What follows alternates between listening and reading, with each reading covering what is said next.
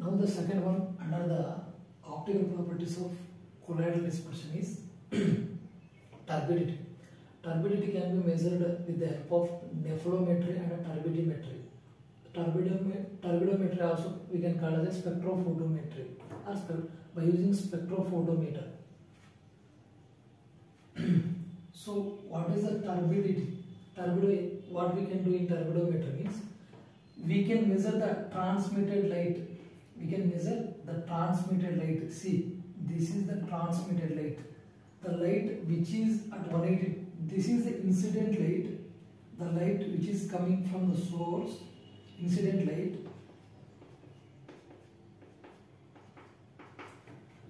The light which is present at 180 degree at 180 degree to the incident light. This is the incident light. At 180 degree to the incident light is transmitted light. So we transmitted light we can measure at 180 degree to the incident light. To the incident light one at 180 degree transmitted light is there. We are going to measure this.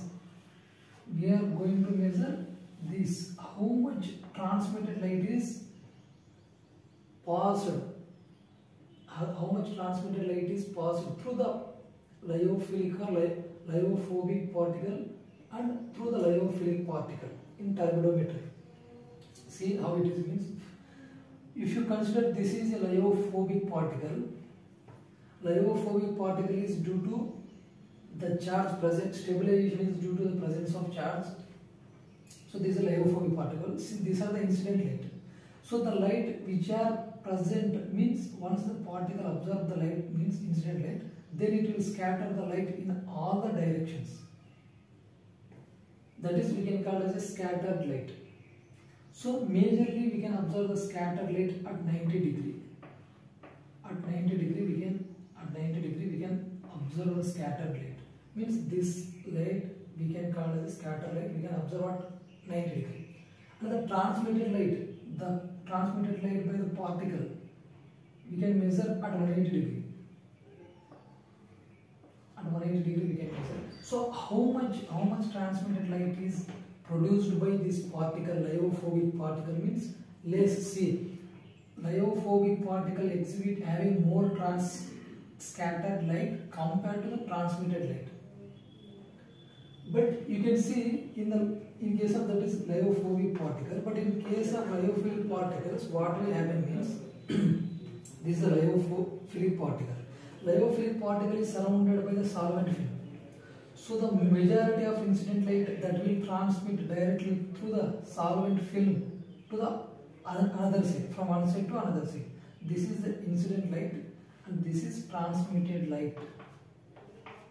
See, for lyophilic particle, the transmitted light is more.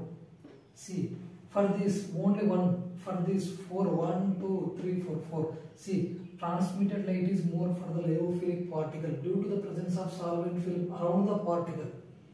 But scattered light, see scattered light, just three, here four. So scattered light, one, two, three. So scattered light is less compared to transmitted light in case of lyophilic particle. But in case of lyophobic particle, scattered light is more and transmitted light is less. Why the transmitted light more in case of lyophilic particle means due to the presence of solvent film around the particle. So this is a this is about the scattering of light. now what is the application? What is the application of turbidimeter? Means used to measure the number of particles, nothing but the concentration of particles in the colloidal dispersion at the same time molecular weight. Molecular weight molecular weight of a particle. Molecular weight of a particle. Molecular weight of a particle we can measure by using this. And the number of particles we can also measure by using the turbidimetry. So what is the principle involved in turbidimetry means i divided by i naught is equals to e to the power of tau into l. See what it indicates i means the incident light see sorry I means the transmitted light. How much the transmitted light is there? How much transmitted light is there?